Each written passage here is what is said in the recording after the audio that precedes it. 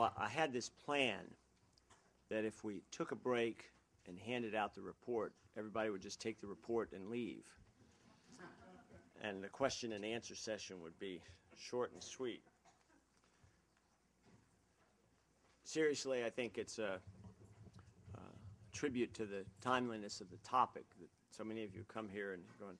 And I, I know that what you'd like to do is spend a little more time thumbing through it, and you'll actually be able to do that because um, uh, I'm quite sure that there are a number of questions that are somewhat independent of actually what's in the report as well that we could uh, entertain. So our, our process is, uh, is we've got folks with microphones. Um, let's see, who's, who's got the mics there? Uh, Elena has a mic, and uh, Jesse has a mic in the back. Um, so if you raise your hand, wait for the microphone to come to you, put it in your hand, hold it up to your mouth, and uh, you'd be surprised. Uh, you have to actually, uh, nobody in this room is technologically uh, as unsavvy as I am. Uh, tell us who you are and, and where you're from, and then uh, ask your question. So um, let's start um, here in the middle, and then we'll go to the, to the right side of the room. Thanks. I'm Dick Adler with the Science and Technology Policy Institute. And uh, you raised a set of options, and you presented them as independent, or they look like they're presented as independent options. What appears to be missing is the concept of an overall strategy and a linkage and relationship amongst options based upon an assessment of the factors that you have here, the cost, the requirements, the needs, the impact, et cetera. So do you see yourselves building something that would in fact create a broader strategy or call for a broader strategy? Raising the second question, whose job is it to do that? There's actually a third question implicit in that uh, question, but let me let me tackle sort of what we're going to do, and then uh, and then I think that gets partway to your question, Dick, but not all the way uh, to the end. Um, we recognize, first of all, that there are ways to assemble elements of the options that are not mutually exclusive. So these are not really, you have to pick option one, option two, option three, option four. And uh, uh, while I'm not going to uh, lean quite as far forward as, as my boss did earlier today, um, I think that it's quite likely that we'll assemble uh, uh, um, a set of, of uh, potential recommendations that would cut across and integrate from amongst the options and other elements as well. The linkage of that to a broader strategy is, uh, it, it, seems to me, um, you know, from a strategic planning process point of view, both a bottoms-up question, which is the way we're coming at it, but also a top-down question, and we're not necessarily, uh, at, in the current operation, planning on uh, coming at it from that direction. Um, it occurs to me that that's something we can think about, certainly, and, and uh, perhaps uh, take out from this the elements of, uh, of uh, the path forward uh, that would be required to link to that broader strategy and that broader process. Uh, in terms of who's in charge, um, I'm certainly not prepared to go to that level yet. Um, but I've spent a lot of my life uh, wrestling inside the interagency process. And the one thing we all know for sure is that if nobody's in charge, then really nobody's in charge. And, uh, and I think that's going to be a critical aspect of it. It's not identified uh, either as uh, one of our evaluation criteria or as a particular set of options. And in some cases, it may be implicit. In some cases, we may have to make it explicit. Um, so I, I, think we're sensitive to those questions. I don't know that we have a definitive uh, piece to each of them, but that's how I see them linking together. You have anything you want to add to that, Greg? Everything you said was right on point. I don't think we go that far to the strategy. But one of the important things by going around to the different interviews and the different subsets of uh, stakeholders was that each were looking at the set the option to, to improve access from just their little window. And I think there's a value here of explaining that there are other there are other windows, there are other avenues. So we don't go all the way to a national strategy, but we do say we might want to stop looking outside the, the one stovepipe. All right, other uh, questions here?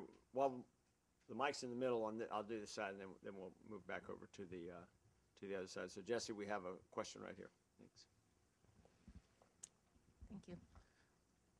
Um, assumptions and context are certainly very important for any study like this, and I just want to be sure that I heard you correctly. At the beginning when you said that uh, the Long March, I believe, was the most reliable rocket, I, I didn't understand that, and by what criteria do you make that? And, and you are? I'm Patti Grace Smith, the former Associate Administrator for Commercial Space Transportation at FAA. Got it, thank you. Um, I would note for the record that the question of the Long March's reliability being the most reliable uh, uh, launch rocket was actually not in our study, but in my boss's opening commentary, and he did. Uh, um, but now I, I feel like the witness uh, for the administration who just blamed the president for my problem, and so that's not quite my, my ultimate objective here. Um, I don't actually have the data for for uh, for proving the validity of that statement, um, but given the um, catastrophic event scorecard, it's at least tied for um, for for uh, the top in recent times in different versions. I think that the question of reliability is certainly one of the issues that we're going to continue to look at. Um, I don't know that I would uh, characterize the outcome of that assessment at this stage. So, um, in a sense, I can't validate that statement, but I can't deny it either. And it's clearly something that we need to pay attention to and validate it one way or the other. Uh, we got a one over here, Elena. If I were actually in a hearing, I would have said, I'll have to take that one for the record. Okay, um, Yoshi Koizumi from uh, Japan Aerospace Agency.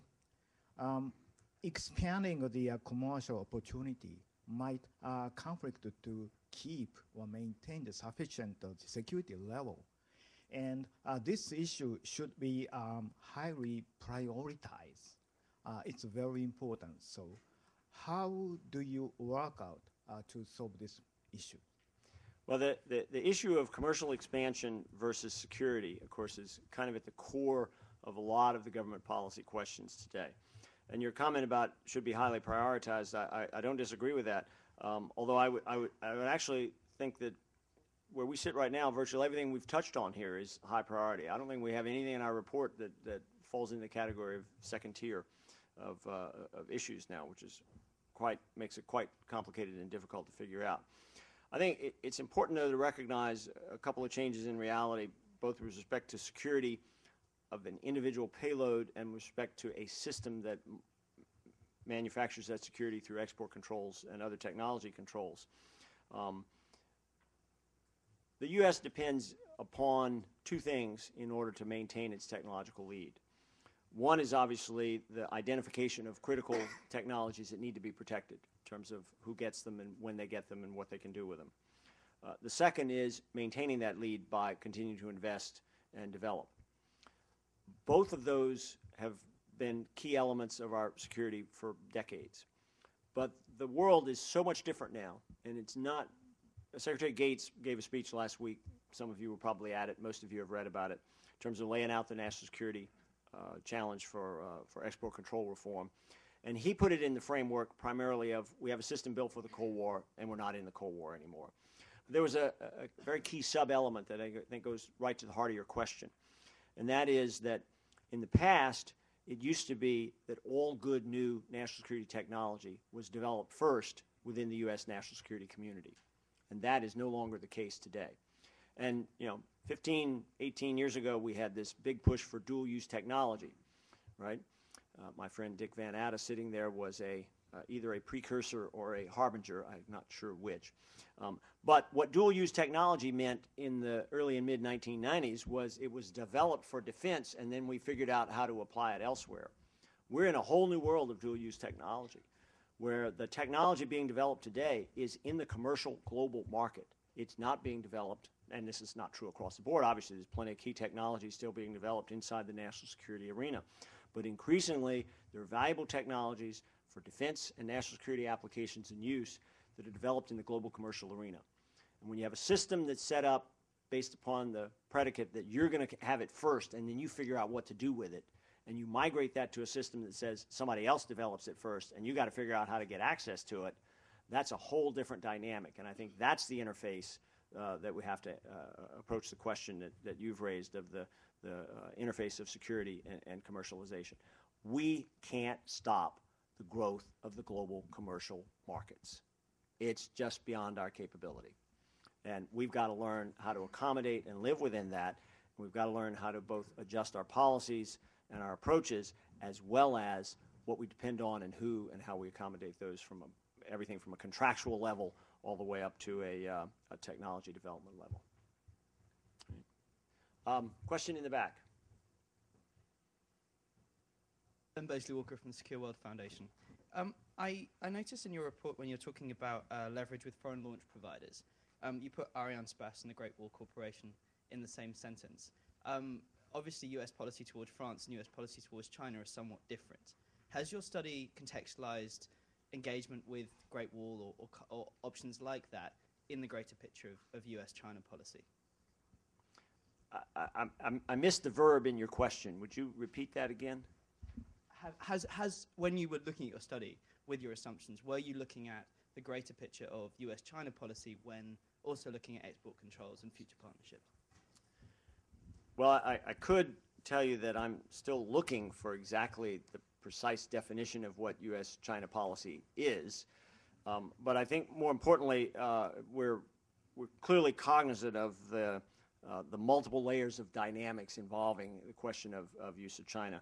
Um, and occasionally, actually, those dynamics get in the way with France as well, although I, I think that's behind us for the time being.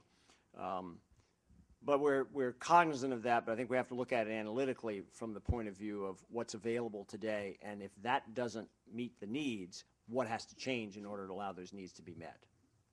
So the, we we certainly haven't taken off the table either policy changes or implementation changes as part of that evaluation, uh, but we haven't concluded what those uh, what our recommendations would be in that regard. So, a couple questions up front here, and then, then I'll go to the middle. So why don't you go first, and then Vincent, oh, you're going to let him go first? but just keep the microphone and hand it to her. Uh, Vincent. Sabathier. Uh, first of all, with the last question, uh, if I remember well, all rockets are managed by the MTCR uh, regime, so it's, uh, it's missile technology, so we shouldn't forget that. It's a very important point in national security. And as far as I remember, China is not a signatory of MTCR right now. So that's the first point. Uh, but then I had a question about the, about the economic of the, of the, of the study.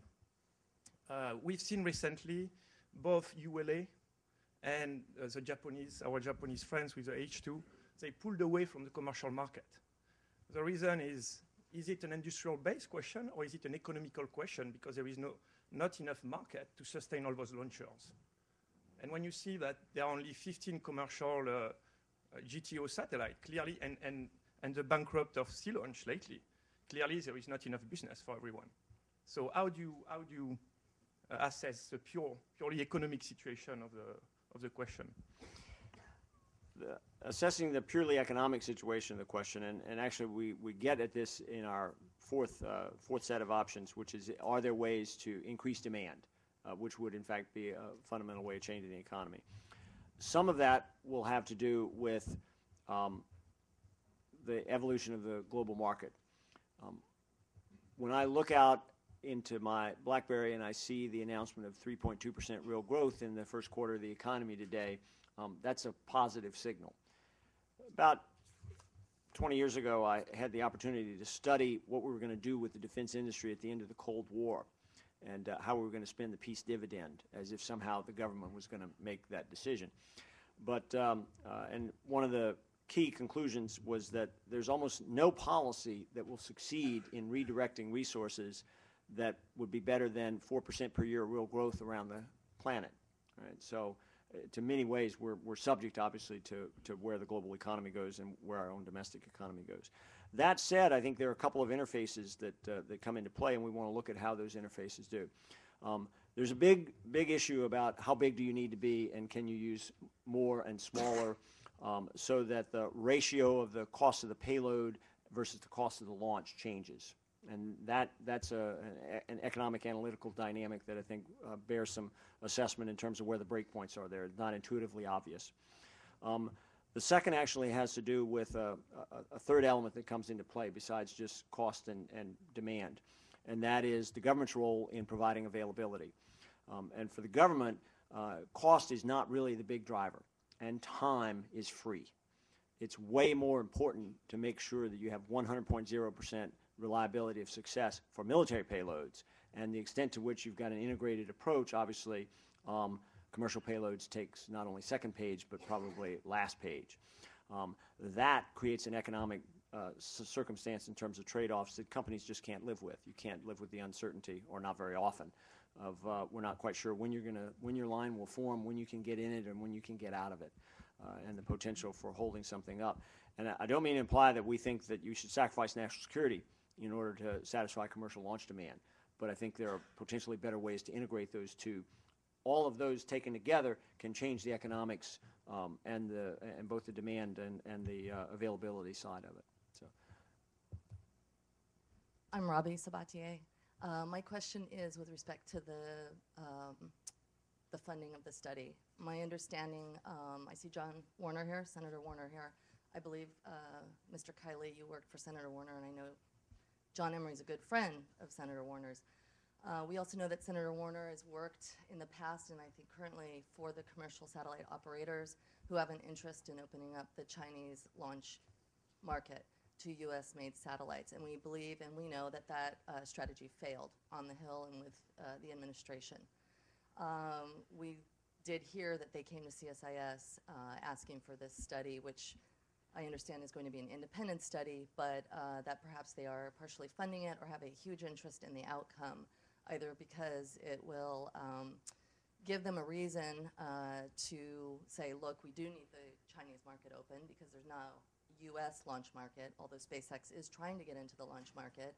And uh, opening up the Chinese launch market would kill that U.S. industry, that budding U.S. industry. So my interest is in um, are they funding the study? Do they have a valid interest in the outcome? Or is this truly independent? I think the it's interesting you start out with that uh, Greg Kiley worked for Senator Warner. Uh, if you look closely at the record, you'll see that um, I actually worked against Senator Warner far longer than Greg Kiley worked for Senator Warner, uh, including four rounds of base closures, um, uh, which uh, I had the opportunity to, for him to uh, give me the, his, the benefit of his personal views of the wisdom of my course of action, um, perhaps a number of times. But I think the, the, the point of your question is actually a, a very serious point. Um, let me describe to you how we undertake our work, particularly in my group, the Defense Industrial Initiatives Group. Um, roughly half of our funding comes from corporate contributions to CSIS, and there's an internal allocation process by which uh, uh, those funds are, are, made available. And from that, I create a essentially a, a core funding capability, which I use to do mini studies, uh, ranging from examination of professional services contracts, contingency contracting in Iraq and Afghanistan, um, European defense industry, our own assessment of uh, the relationship of government policies to the perform financial performance of the companies, um, and independent assessments of particular industrial base issues. This falls into that category. There are contributors and sponsors who have multiple vested outcomes in the issue here, some of which are in comp direct competition with one another. We face that in almost every issue that we undertake. Um, but I stand quite firmly uh, on the um, both the independence of our assessment and particularly on the independence of our recommendations when we get to the end. Uh, I've spent 30 years in this business. It's the only way I've ever done it. Um, this is the only institution I know that I would have come to work for uh, that meets that test, and I don't think you'll find a single bit of, of uh, evidence to impugn either the nature of the study or the outcomes. So your answer is no. Right.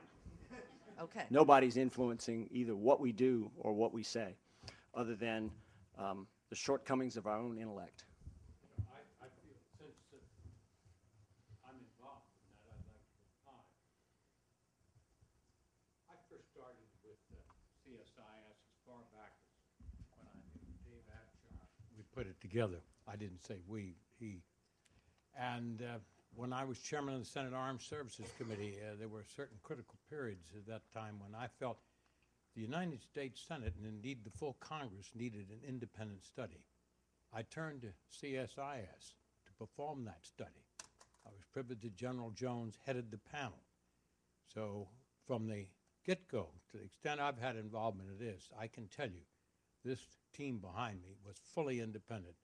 And had I ever got in their way, they'd have stiff-armed me, and I know it.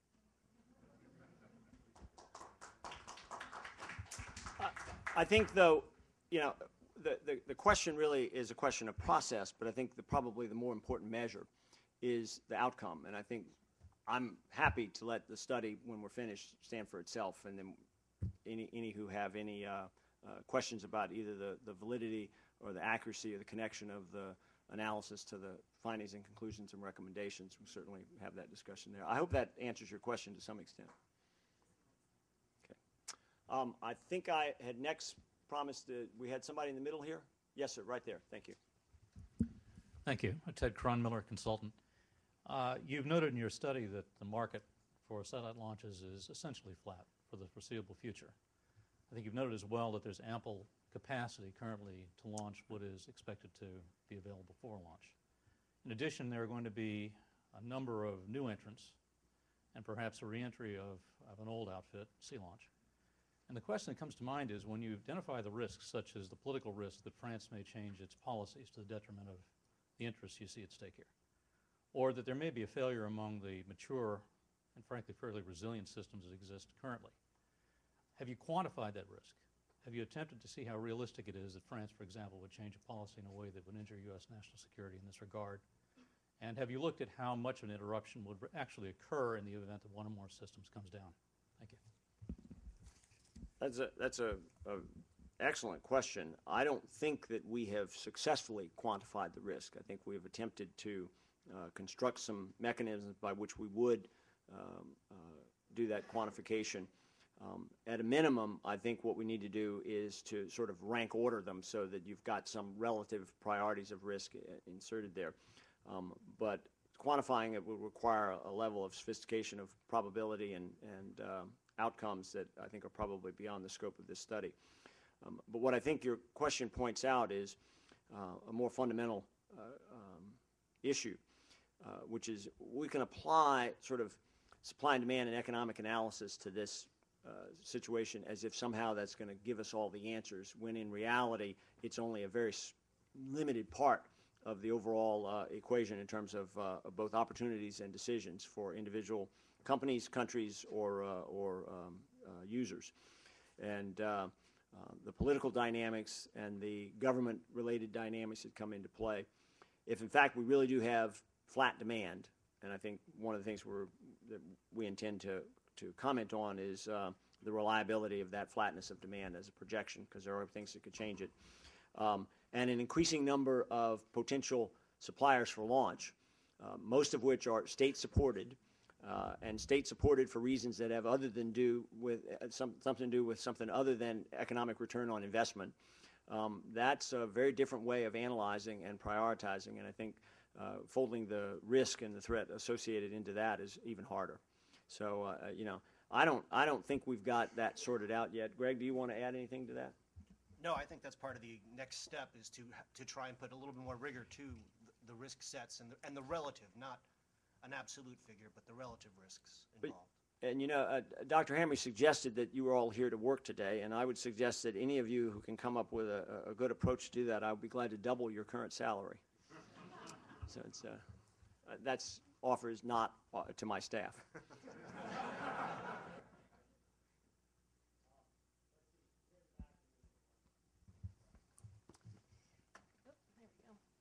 Thank you. Marjorie Chorlins, Lockheed Martin. Uh, it's been a while since I've had to exercise my Evelyn Wood speed reading uh, talents, so I confess. That's why we give you a whole month, actually. So Thank you. So I, I confess I haven't read the entire thing just sitting here. Uh, but uh, the question I have actually is sort of at the opposite end of the spectrum of the gentleman's question, which I think was rather specific. Mine has something to do with a much messier topic, and that is Congress uh, and uh, the, the political element that needs to be factored into whatever analysis can, is conducted here. Now, I did see a couple of references in my quick review uh, to some of the activities that Congress has undertaken with respect to export controls in particular hope that you know we'll see the Senate acting on uh, returning jurisdiction, et cetera. Um, my question, though, is to what extent do you anticipate your report will factor in uh, what is inherently a messy component of uh, the policymaking process, and that is uh, the very um, intensely competing concerns uh, on Capitol Hill around not only uh, protecting, you know, discrete, district-specific uh, elements of the industrial base, uh, but larger concerns about national security, uh, especially with respect to specific countries.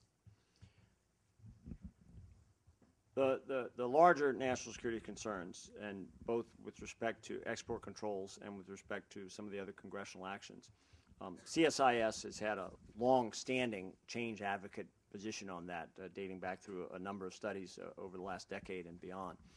And, uh, and of course, our, our uh, president and CEO has been on the lead of that. As, as he puts it, uh, he's, he's already undertaken three kamikaze missions on export controls and, and is about to undertake a fourth, and perhaps the target will be uh, better identified and, and established this time. And, uh, and you know, my group has a similar track record, including a um, um, report that we put out in the spring of 2008 as well. Um, we are in the middle of host of activities related to try to move the ball forward on that. It's not at all clear to me that that will end up in a report because I think we're more at the stage where we're interested in providing a forum for um, for debate and and uh, uh, collaboration. I was going to say compromise, but that's usually a bad word, even though it is ultimately what we have to do. Uh, uh, amongst all the various competing elements, both inside the administration with the Congress and, and those handful of other folks who can contribute intellectually without, um, without biasing the, the outcome. Um, I think we're in a, a unique situation in terms of the potential for real successful change here uh, for a host of reasons. We're early on in the administration. Um, we have a, a, a very um, uh, dynamic and capable cabinet officer who's pushing hard for change and who's had a track record of being somewhat successful in the last few years for the things he takes on. Um, uh, we've got the changing uh, technology and, and global uh, economic dynamic uh, underway. Uh, we've got, I think, a clear recognition that um, uh, we have the potential for national security harm from failing to change as opposed to national security benefit from failing to change. A number of other reasons, I think, um, we've got the, the nation faces an opportunity here, and, and even the Congress will recognize that, and I think there's a potential. Um, whether or not there's enough time left between now and the end of the 111th Congress to succeed, or whether what we're really doing is setting uh, a very capable and, uh, and thorough and comprehensive stage for the 112th Congress to pick something up uh, next year, um, you know, is anybody's guess. I, I once stood up in a public platform in July of 1996 and guaranteed the audience that there was no way that welfare reform would pass that year. And uh, six weeks later, this president was signing it into law. So I don't really uh, uh, want, want to predict where momentum will go, but, uh, uh, but I think the stage is very well set. The issues are very well engaged, and this will play clearly a part. When we put out our 2008 study, and as I mentioned, we started looking at the industrial base and ended up coming to the conclusion that export control reform was a, a real, both fundamental cause of problems and a real driver for dealing with them. Um, we said at the time that space and the space industry in general, and particularly key elements, were like the canary in the coal mine. And, uh, and you really had to look because it, the, the, even though the dollars were fairly small with respect to overall national security expenditures and, and the national security technology environment, um, the relative importance of that contribution both to overall national security and to, uh, to the national economy was way beyond the dollars being invested in, and spent in it. And that if we were losing our technical edge there as a nation, both from a security point of view and from an economic point of view, um, that it really would, would make you ask where else are we losing and, and what are the potential consequences there. So it's, it's bigger than just a space issue. I think it's a, uh, a very strong uh, signal, um, but it's also potentially a pretty strong horse to pull the, uh, the wagon. Um, I hope that responds to your question there. Greg, you have something else? Yeah, I just wanted to add uh, two seconds because I've not here. I've not been at CSIS as long as David. I've only been here 18 months, and this is about my fourth effort that I participated in. But one of the things CSIS prides itself on, and he can correct me if I'm wrong, is the uh, the analysis of practical solutions, things that can act- are actually feasible. And one of our criterion uh, for the evaluation is this feasibility question, which goes to all of what David was saying. And I wanted to just stress that point.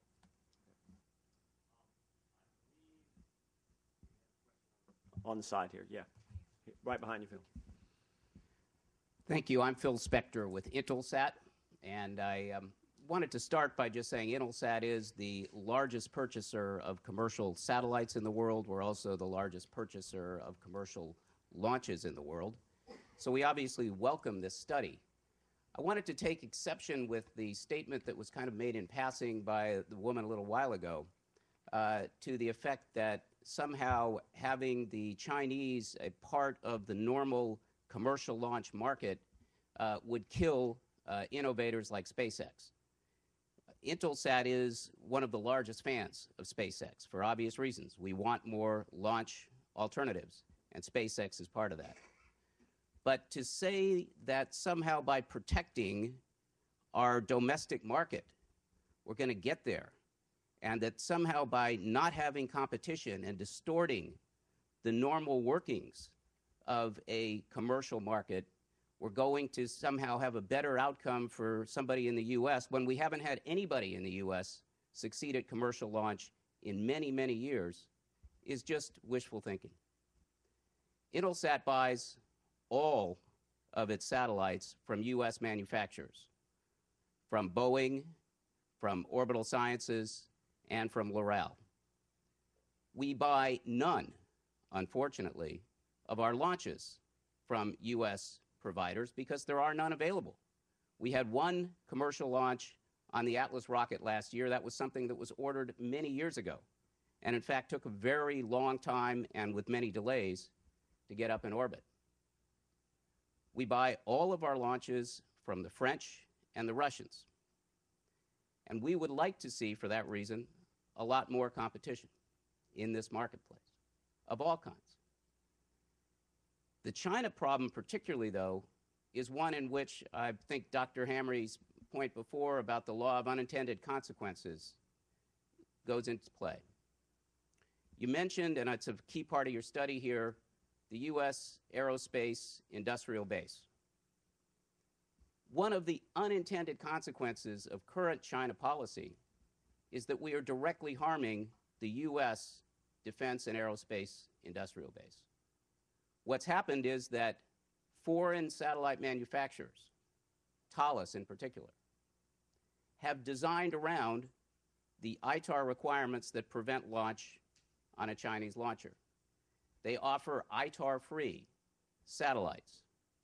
Those satellites, the ITAR-free satellites, mean that there can be no components manufactured in the United States. Someone mentioned Congress earlier. Interestingly, component manufacturers for satellites are located in 49 of the 50 states. So there's some political interest here in strengthening the U.S. defense and industrial base as it comes to manufacturing satellites. We don't help that at all by encouraging foreign satellite manufacturers to design around U.S. components. But that is one of the unintended consequences of current policy. I don't know to what extent your study addresses that. I haven't had time to do my own speed reading, but I'm hopeful that the final study will address that point. I was, uh, I'm mindful of uh, uh, Senator Warner um, when he would occasionally look down at some of the lesser mortals who were members of his committee and uh, say, Senator, is there a question in there? But uh, you, I don't think I detected actually a, a question that I have to. Res- oh, at the end there was a question, whether it's in the study or not. Uh, to a limited degree, um, i- it is. But I, I think, uh, Phil, you'll see it much more in the results of, of the analysis uh, because it's clearly embedded in at least two and perhaps three of, of the option sets. Uh, options one, and I think to, to a lesser degree, options two and three will uh, will all address those uh, that that question of whether it's in the study or not.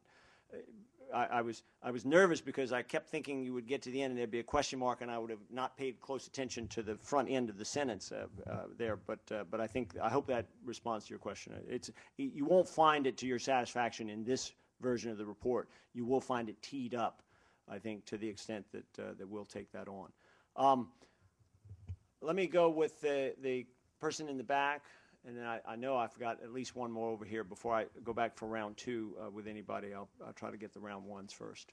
Hi, I'm Marcia Smith with SpacePolicyOnline.com. I'm just curious about why you decided to limit your study to medium and large payloads to GEO instead of looking at the whole launch market. As the table in your report shows, there does seem to be a fairly healthy forecast for NGSO launches in the future. And I'm sure you're more interested in the future than in today. So We- Why did you do that? We, we are, uh, the reason we did is because our, our initial assessment was that that's where the stress and, and the- in the uh, interface between both demand and supply and on potential government involvement came into play. Um, I think we'll have to look, i- as we do our continuing evaluation, at the sensitivity of that restriction to whether it changes the outcomes if we would ex- expand that restriction to the, to the uh, smaller. Or, uh, for, for non, geo, uh, uh, geostationary orbit, though, um, I think the fundamental requirements uh, just don't meet. I mean, our, our basic thrust is uh, starting with the national security implications of that, and from uh, that's where the, the prime emphasis is from a national security perspective in terms of both the domestic capability that national security relies upon and the commercial global capability that national security relies upon. That, those were our two fundamental. Do you have additional? Uh, all right. Um, I think I have an unanswered person over here. Please raise your hand if you all, if you're in, think you're in line and I haven't called on you yet. There's one there, there's one there, and one there. Okay, good. Okay. Speaking of Congress, uh, I'm Dan Els from the Congressional Research Service. And uh, the question I would have I'm, I'm basically a quantoid at heart, a methodologist, and looking through here, I noticed that as far as hinging the arguments on ITAR, uh, impact of uh, export controls, et cetera, et cetera, it seems to be a little thin on the actual um, data that would back that up. And I'm currently undergoing or going through a literature review to try to ascertain if there are any studies out there that actually use hard data on the impact of export controls on the defense industry in general and space in particular. And I'm wondering to what extent have you found some actual hard data on not only the dogs that bark, let's say export licenses that are denied, but also the dogs that don't bark? Industry has stated anecdotally many times and in many studies that export controls are adversely impacting our ability or willingness to try to export. Well, there is no data to back that up unless you can provide it. What export licenses do you not ask for because of the current structure of the system, et cetera? So, to what extent will your um, study pry open that particular box? Dan, you have, you have raised uh, probably the key, most unsatisfying element of, of this whole thing. Um, Our 2008 study started on the premise, based upon the survey data that, that that study was done on. It was government survey data uh, mandated by, and collected by the Commerce Department, analyzed uh, by the Air Force uh, in, in collaboration with us on that study. And, uh, and the smoking gun is very hard to find. Um, I, I think the, the way uh, uh, the co-leaders of that study described it is we can't find the smoking gun, although the smell of gunpowder is in the air. Um, but the reality is that you can find anecdotes, but you can't array the data in a way that CRS would certainly find uh, satisfactory. Um, and my sense is that we're still not at the point where we can prove the case. Um, I'd be happy to be proven wrong here. Um, my concern, though, from a policy perspective, is by the time we get to that point, it's too late. And, uh, and, and it becomes an irreversible dynamic. Um, what we've got is a lot of, I guess, you know, I'm not a lawyer, right, but circumstantial data.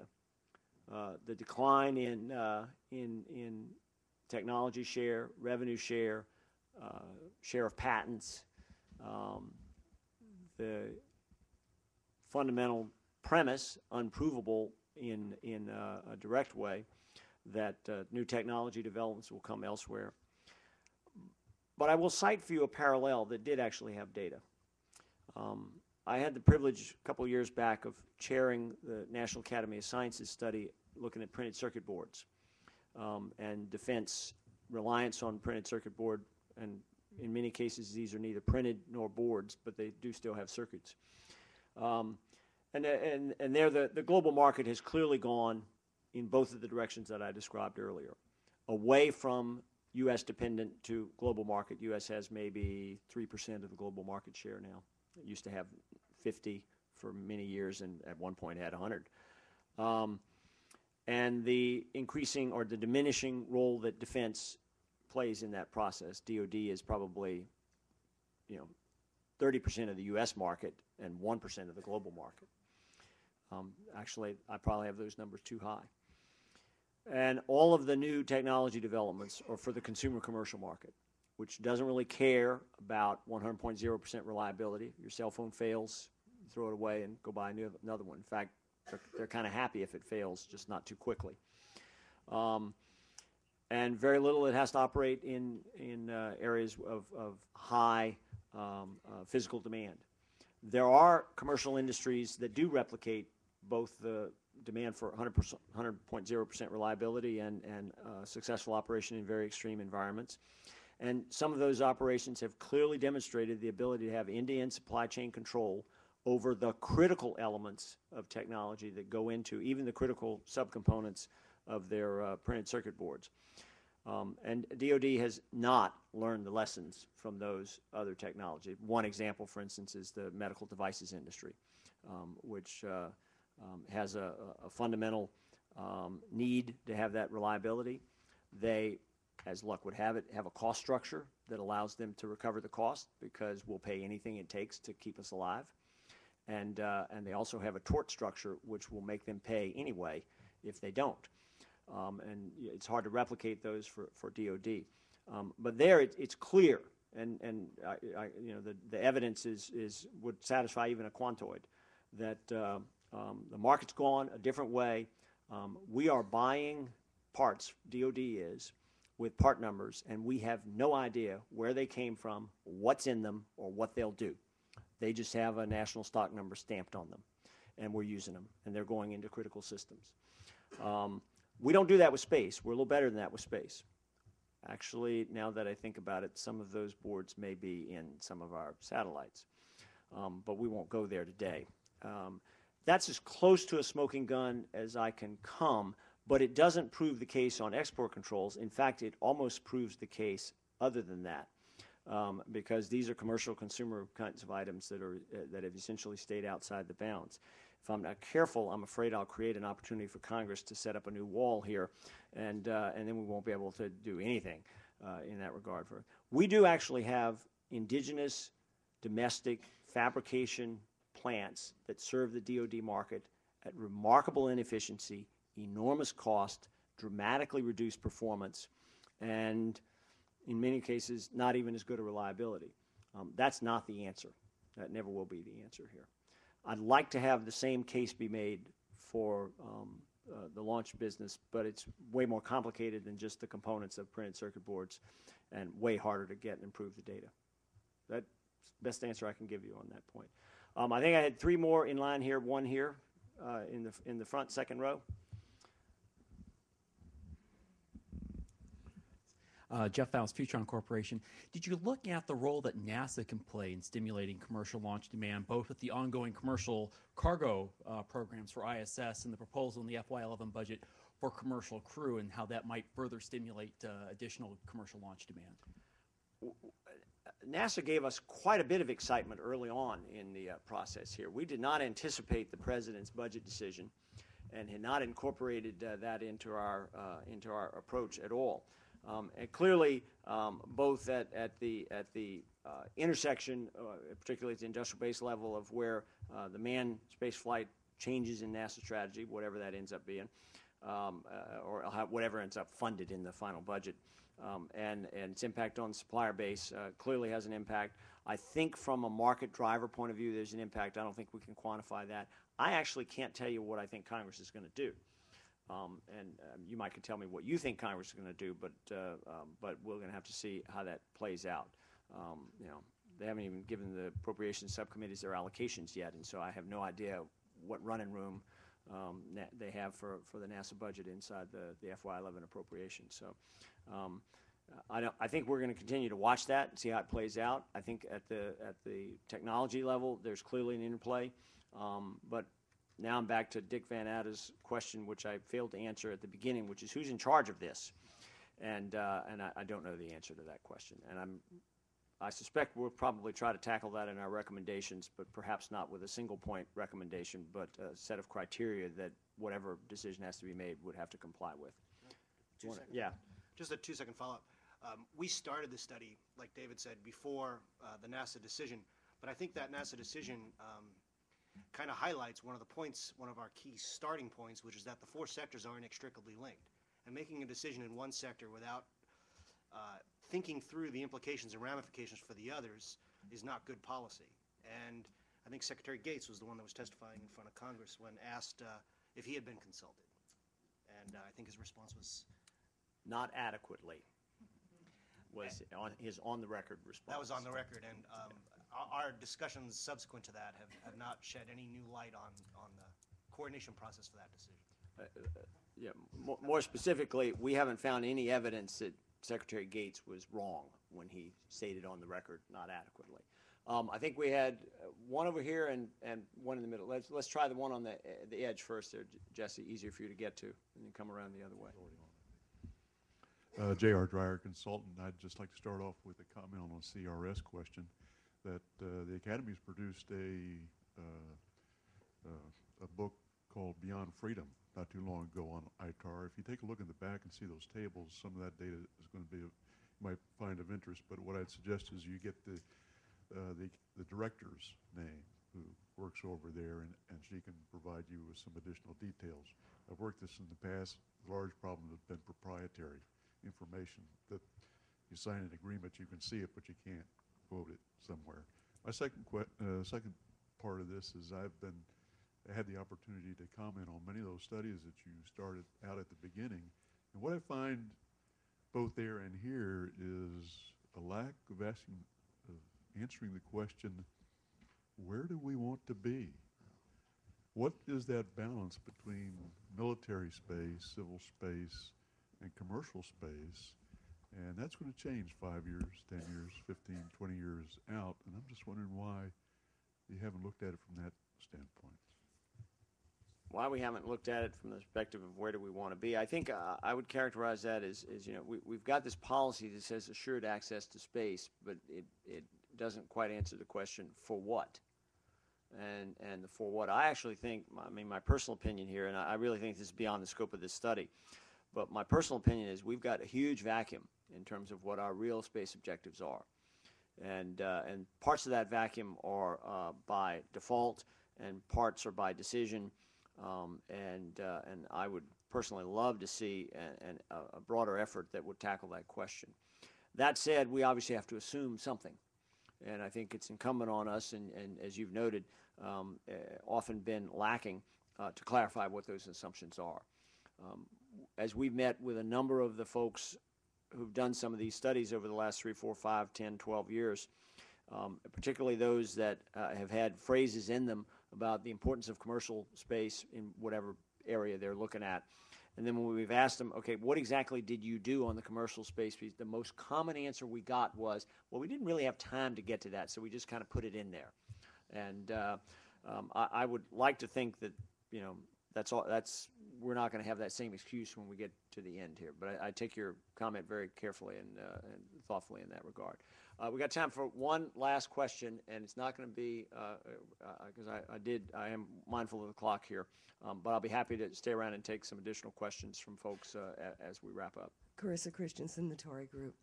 Uh, well, first, let me say I applaud the process that you're going through, uh, seeking input.